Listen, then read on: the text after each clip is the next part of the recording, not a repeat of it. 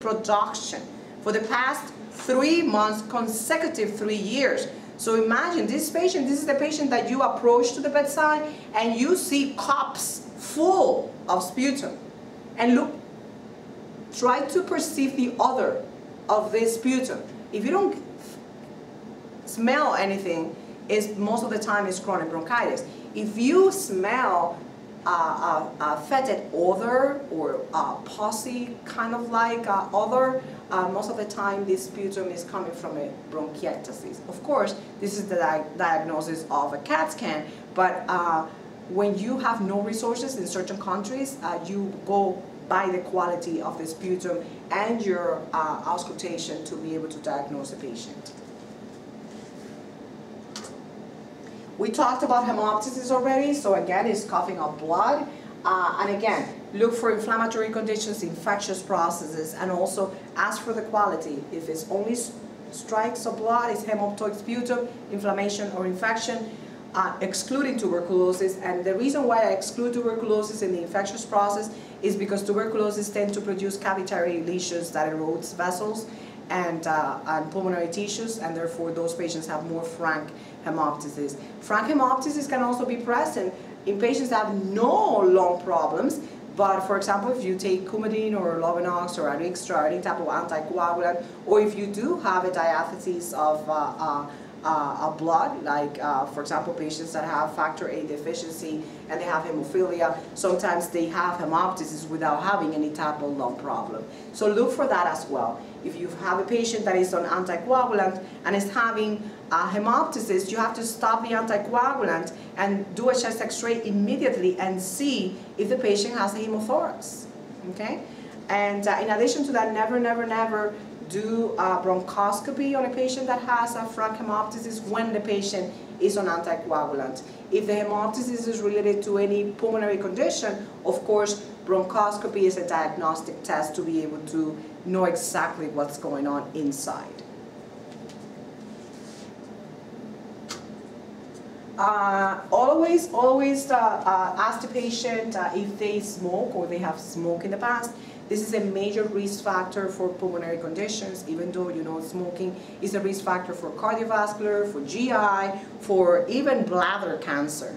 Uh, but uh, every time you encounter a patient that smokes, that is actively smoking, is the Medicare regulations that you do counseling uh, to the patient, that you provide a patient a 1-800 number or uh, websites to be able to quit and also provide mediums of quitting as well, such as uh, nicotine patch or uh, any other, uh, uh, at least in the hospital we provide, or you start with the, the cheapest, uh, the most economic way to be able to quit, but never, never um, leave the patient unattended and, and no, no counseling the patient uh, for smoking cessation.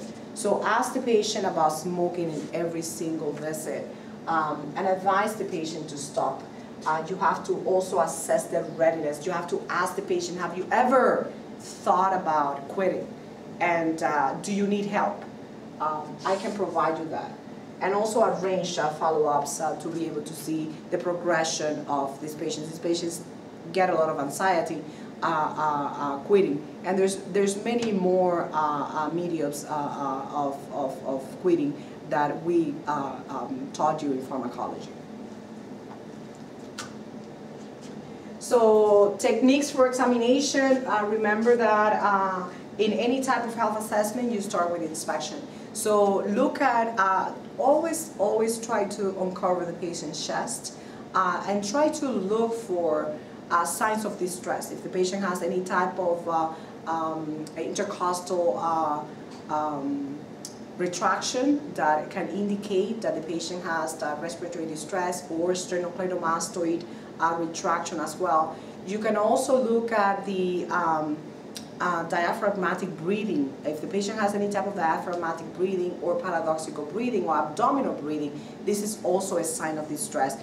Look for um, scar uh, from the outside in the skin. Sometimes when the patients do have a scar in the back, that can uh, indicate that the patient had a lung surgery. And ask the patient, many patients forget to give you that detail. So inspection is very important. In addition, the thoracic cage the form. Many patients have scoliosis or lordosis or kyphosis, or sometimes they have pectus cavatum or carinatum. We're going to go through that in a second. That that will, even though they're congenital conditions, that could impair tidal volume and, and therefore uh, respiratory function, okay? In addition to that, progress to palpation. When you palpate, uh, you have to palpate the outside of the lung. You cannot palpate the inside. We're going to go through the steps of palpation and what can you find in palpation as well.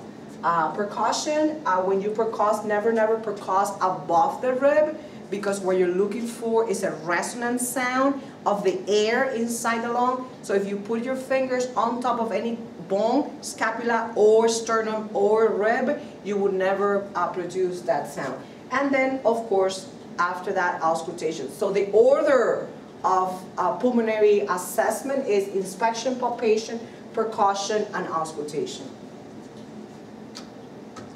So what can you see in inspection? As I said, the rate and rhythm, the depth, is the patient comfortable breathing? Is the patient in any type of distress? Look for accessory muscles that the patients are pulling to be able to breathe properly. As I previously stated, look for the shape of the chest. If the patient has any scoliosis, lordosis, any kyphosis, any um, uh, type of uh, uh, uh, barrel chest that indicates that the patient most likely has COPD. Uh, they have a very, very long AP diameter. Um, look for pectus carinatum or excavatum. Um, and in addition to that, look for the hands of the patient. If the patient has any type of clubbing, um, um, the, the, the, distal portion of the, of the fingers are engorged, and that is a sign of chronic hypoxia. Look for the palms of the hands to see if they're having palmar erythema. Even though this could be present in liver conditions, highly present in pulmonary conditions when the patients are having chronic hypoxemia as well. Look for the staining of the cigarette. Many patients deny that they do smoke because they don't want uh, people to start uh, counseling them, them about smoking cessation. So to, in order to avoid that uh, event, they denied us smoking and you are able to see it. Never confront the patient, of course. If you believe that the patient is smoking, even if you can smell the nicotine on the patient's clothes, uh, never confront the patient. Just uh, uh have it in the back of your mind as a risk factor, but never tell the patient, oh really, you don't smoke, or what about those fingers, or what about the smell? Okay, that's not appropriate. Ask always the patient, do you use oxygen at home? Because that gives you an indication of chronic pulmonary conditions. And in addition, how much do you uh, uh, use at home? Two liters, three liters, how much do you use? Because if you now do an ABG on room air, of course you're expecting to see hypoxemia, but this patient is oxygen dependent. Uh, so again, pectus cavatum is no more than a funnel chest. Excavatum is to the inside. And if you have any uh, um, deep inside uh, uh, indentation of the sternum, uh, the tidal volume will be compromised. So basically it's just no more than a congenital condition that the patient has a hollow out chest. Barrel chest is, is no more than patients have a very, very long AP diameter and uh, this is most likely produced by hyperexpansion. Patients that have uh, uh, a lot of uh, air being accumulated as residual volume in inspiration that is trapped and that produces flattening of the sorry flattening of the diaphragm you will be able to see this not only physically but you will also see this in a chest x-ray normally when the patients are at rest as I already explained you you can count up to the 9 to 10 rib, no more than that. If you're able to count up to the 12 rib, which are the floating ribs, this patient has a very high AP diameter. And most commonly it's present in patients that have chronic pulmonary conditions, even though if you are the type of asthmatic patient that always are in severe exacerbation and status asthmaticus, of course, you will produce a hyperinflation and residual accumulation of volume, and you can also have a barrel chest. Scoliosis, again, is no more than a deviation laterally to the spine, and even though this is only musculoskeletal, uh, believe it or not, it does affect the tidal volume of one lung because if you're curved to the right, you have more expansion and more tidal volume on the left than on the right. That is uh, highly present in patients, for example, that have cerebral palsy, that they're constantly uh, laying in bed like this, um, uh, they, they do have a very compromised uh, tidal volume. Uh, kyphosis and uh, uh, lordosis, uh, uh, you have to think about this, for example, patients that have a very pronounced kyphosis in patients that have like um, term pregnancy, um, even though pregnancy if, um, um, push up on the diaphragm, compromising tidal volume. In addition to that, the position of the uh, spine can also compromise uh, tidal volume. Uh, pectus carinatum is the contrary of the pectus cavatum, is also congenital condition, so the sternum goes to the outside like a pigeon. And uh, you might believe, well, that expands the tidal volume. No, because the ribs that are uh, located in the sternocostal angle are basically squished. And uh, that's the reason why they do have compromised tidal volume as well. So these are the examples. This is the pectus cavatum. You don't see it as much here, but that's the carinatum. It's like a little triangle pointing out. And those are the uh, examples of the uh, x-ray. We're going to have a radiology class. Um, you have a patient with scoliosis and kyphosis. Um, and again, um, the pregnant women that also gets affected. Remember inspection, look at the scar tissue. This patient most likely had a lobectomy. So ask the patient, what happened here? Many patients forget to give you that pertinent information, okay? And uh, look for accessory muscles of respiration to see if the patient is uh, in any type of distress. Uh, cyanosis. Cyanosis, there's two types, peripheral cyanosis and central cyanosis. Peripheral cyanosis, any of us can have peripheral cyanosis if you're exposed to any cold weather environment. Uh, but that is not uh, uh, due to chronic uh, hypoxemia. But for example, if you do live uh, in uh, countries that are high altitude, such as Peru, people that live there tend to have central cyanosis, even though it's not a disease process, but they're going through chronic hypoxemia all the time. Of course, they do not develop clubbing at, at, up to that stage, because the body gets used to that. Uh, but patients that do have chronic pulmonary conditions in, and they live in chronic hypoxemia, they have central cyanosis, lips, they have the nail beds uh, uh, cyanotics, as you can see. But in addition to that, the distal portion of the fingers engorged, and that is called clubbing, okay? And in addition to that, there is a test that you can do uh, to be able to uh, determine if the patients do have clubbing. As you can see, the nail plate is all flat and concave, and the distal portion of the fingertip is also engorged. It's called the Schamroth sign, which is basically when you have normal uh, nail plates and no normal distal phalange, when you approximate the distal uh, uh, fingers, you have like a tiny little triangle space between the nail beds, as you can see here. But when the patients have clubbing, that angle is never present. Okay, so what can cause clubbing and cyanosis? I am not pretending you to memorize this list, but if you think about pulmonary conditions and heart conditions and any disease process that can give you chronic hypoxemia, you have them all. So bronchiectasis is no more than, if you remember patho, permanent dilation of the bronchioles with accumulation of purulent sputum. So this patient, of course, the gas exchange is going to be compromised and that's permanent, that's irreversible. So the patient will be in chronic hypoxemia. Patients with cystic fibrosis as well, remember that they do have a lack congenitally of the chlorine channel, so the mucus become very uh, viscous and not only at the level of the lung, but all the exocrine glands are affected. So having viscous mucus production will impair gas exchange.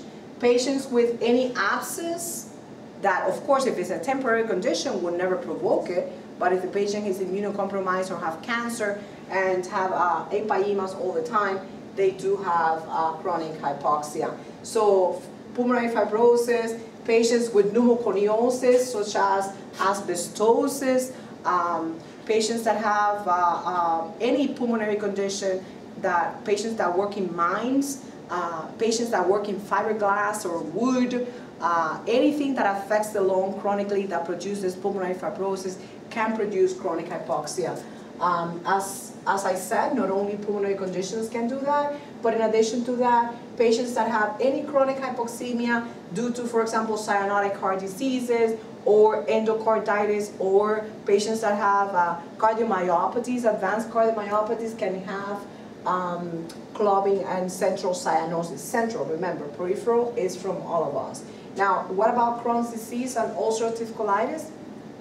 Patients that have Crohn's disease and ulcerative colitis, remember this is also an autoimmune condition, a hypersensitivity reaction type 3, that not only autoimmune complexes are deposited at the level of the uh, intestine, but it can be present in any uh, uh, tissue as well. Remember that these patients not only have intestinal problems, but later on they tend to have pericarditis, uh, they tend to have uh, pleuritis and pleural effusions, and therefore they tend to have chronic hypoxemia and having uh, cyanosis and uh, uh, clubbing. Cirrhosis of the liver, uh, remember that when the patients have cirrhosis of the liver um, and they do develop portal hypertension, uh, when the um, pressure at the level of the portal system is very high, that produces a regurgitant amount of uh, volume, not only to the areas that have less pressure, such as the esophagus, producing esophageal varices, but in addition to that, they have a very high venous return, producing right-sided heart failure, and therefore they tend to have uh, um, what's called hepatopulmonary uh, uh, syndrome, which is uh, no more major vasodilatory uh, substances being released. Uh, uh prostaglandin, we're going to study all that in GI. Prostaglandin releasing and vasodilation, and therefore gas exchange is impeded. So you can have, due to liver cirrhosis, hepatopulmonary syndrome or hepatorenal syndrome. As you can see here, you can see the staining of the cigarette and the palmar erythema that the patients can have. What about palpation? On palpation, basically you will put your, the palm of your hands in the patient's chest anteriorly and posteriorly. And first you can determine the chest excursion okay? So basically you would put your hands below the scapula and you approximate your thumbs and you ask the patient to take a deep breath. And normally the thumbs should separate against midline. So from midline that you start, when the patients take a deep breath, the expansion has to be symmetric. If one lung expands and the other one stays in place, you do have a pulmonary condition in this lung. Most likely it's pleural effusion or the patient has a pneumothorax and that's the reason why it hasn't expanded, etc. Okay, in addition to that, what else can you palpate? Well, you can put your hands on the patient's chest posteriorly or anteriorly, and ask the patient to talk.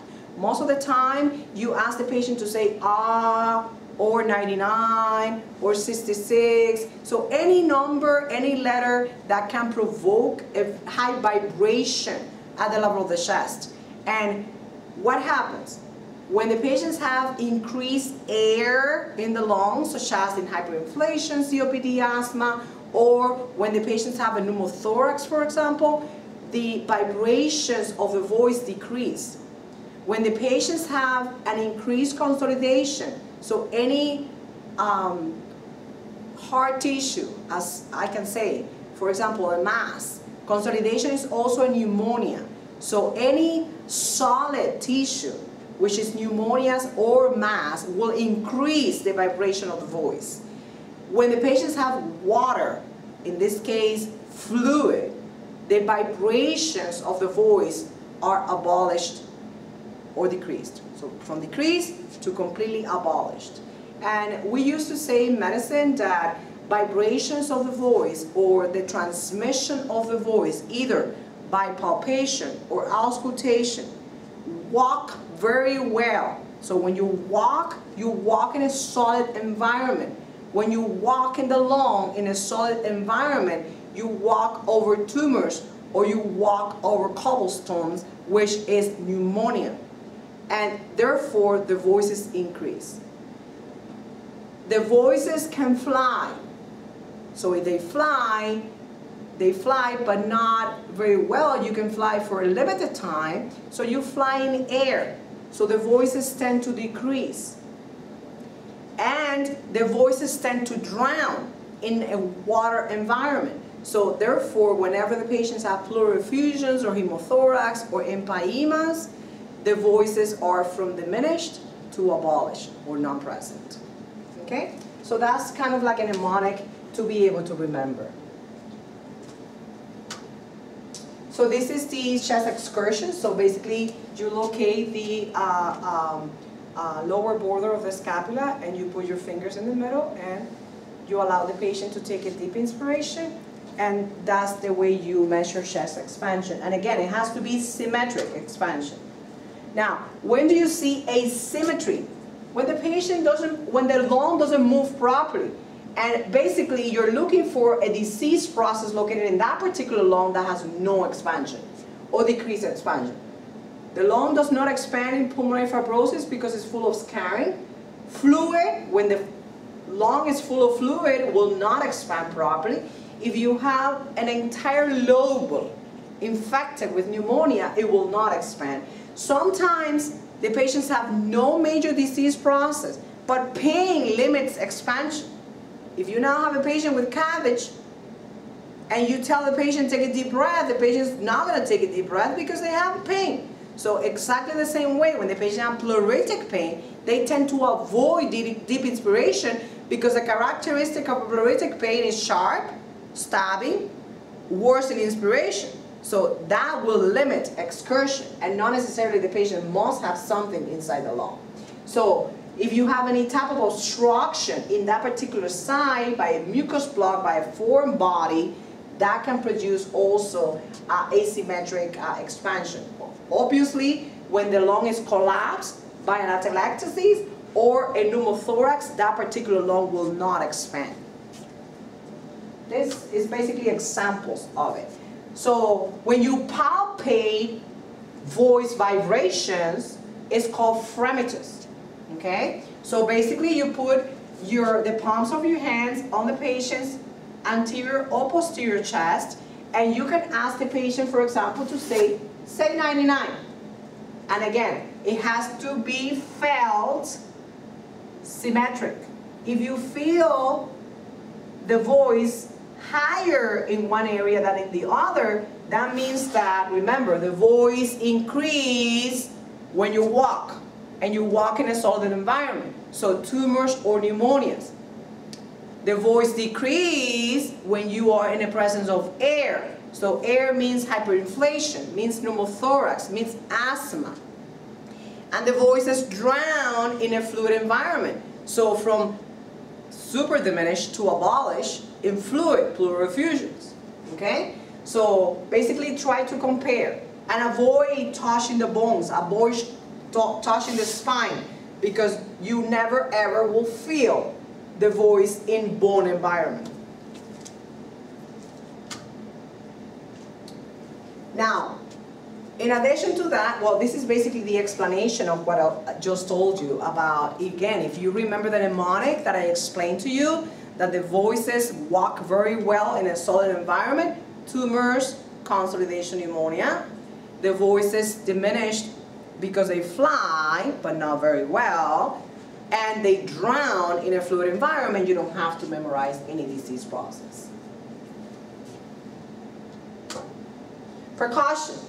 When you're performing percussion, remember, never ever put your fingers on top of the ribs because otherwise you will feel dullness. You will hear dullness. You will never, never hear resonance. You have to put your fingers horizontally, one finger horizontally with the palm up. Never, never, never put the palm touching the patient. So you put the middle finger in the intercostal space and you percuss with these two fingers.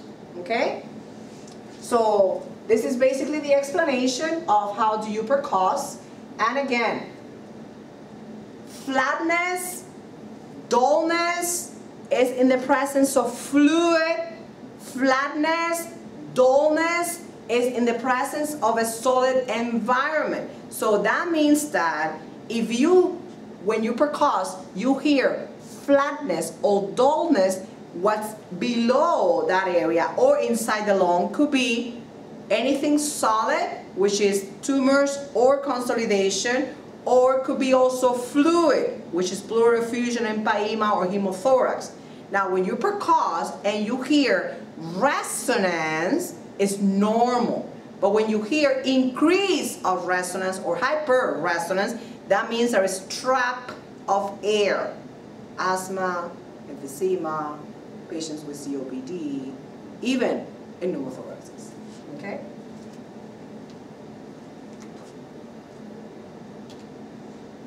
Tympani is for the belly. Tympani is for the GI, for the abdominal examination. As you can see, the finger is horizontal in the intercost, intercostal space. Never do what I have seen. Your intercostal space is not perpendicular, it's not vertical. You have to put your finger horizontal, okay? As you can see, the palm of the examiner never touched the patient's back or chest. So you put your finger like this, the palm up, and you strike with one or two fingers. I like to strike with two. Okay? And you go in a ladder pattern. We're going to teach you that in a second. This is what's called ladder pattern. So you don't percuss as you wish in any order. You have to percuss right, next, down, next, down, next, down, next, down, next, and you go up, down, up, and down. That is called ladder pattern distribution for auscultation and percussion. Again, when you percuss, flatness or dullness is basically solid. So when you percuss the intercostal space, normally should be resonance. Try to percuss above a rib, which is solid, so you could hear the difference, which is dullness or flatness. When you also percuss on top of any organ, in this case, liver, uh, uh, or anything solid, such as an illness of tumors or consolidations or fluid, which is also flatness, will be uh, not resonant. Okay, hyperresonance is very loud compared to the normal uh, uh, percussion, and uh, hyperresonance means trap of air inside the lung. Tympani is mostly for uh, abdominal examination. And remember, resonance is what you want to hear, that's the normal lung. Hyperresonance is hyperinflated lung, again, most of the time present in patients that have emphysema or any uh, uh, uh, hyperinflation such as asthma or even pneumothorax, okay? Remember, dullness is occupied by air, I'm sorry, by fluid or by solid, which is tumors or uh, consolidation pneumonia. Okay? So auscultating the posterior part of the lung uh, it's exactly the same technique, okay? Uh, of course, in the anterior portion of the lung, you only have access to the uh, uh, first and second intercostal space because the rest is occupied by the, the mediastinum, the heart. So you ha actually have to do exactly the same pattern, okay? So tell the patient to take a deep breath and uh, you will be auscultated uh, looking for symmetry, and, and you would auscultate in the same ladder pattern as percussion, okay? What are the normal auscultation sounds? So vesicular is basically low pitch and it's usually heard in most of the lungs. So what you're trying to look for, again, for percussion is resonance, for auscultation is vesicular. There are other normal breath sounds present, which for example is bronchial is mostly higher pitch than vesicular and is heard over the manubrium of the sternum. So basically if you hear at this level in the second intercostal space close to the manubrium of the sternum will be mostly bronchial. Bronchial vesicular is also normal, is also a um, medium uh, type of pitch intensity that is heard over the first and second intercostal space, but not close to the manubrium of the sternum. It's mostly outside and also posteriorly. Tracheal, very, very close to the trachea if you auscultate at the level of the apex or in the neck, because you can listen to the neck to see if the patient has any kind of stridor, for example. So if you listen to close to the tracheal area or above the clavicles, which the apex is located, of the apex of the lung, you will hear mostly tracheal. So again, as I said, auscultation. So we talked about uh, uh, percussion, how can you hear the presence of disease process. We talked about also palpation, in this case uh, the, the fremitus, how the voices are transmitted depending on the disease process. Now let's talk about